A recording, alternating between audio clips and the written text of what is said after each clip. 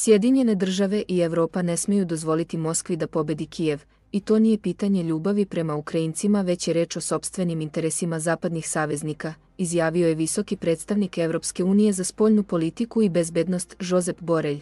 Ne možemo dozvoliti da Rusija pobedi u ovom ratu. U suprotnom, interesi SAD i Evrope će biti ozbiljno narušeni. Ne radi se samo o velikodušnosti. Ne radi se o podršci Ukrajini zato što volimo ukrajinski narod. To je u našem sobstvenom interesu.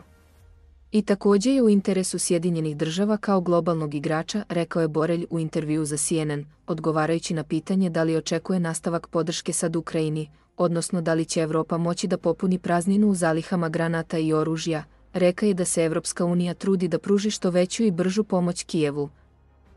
Ako i to da će Amerikanci ipak odobriti dodatno finansiranje, Sjedinjene države imaju ogroman interes da podrže Ukrajinu. U suprotnom Rusija će dobiti kart blanš. I znamo šta će uslediti.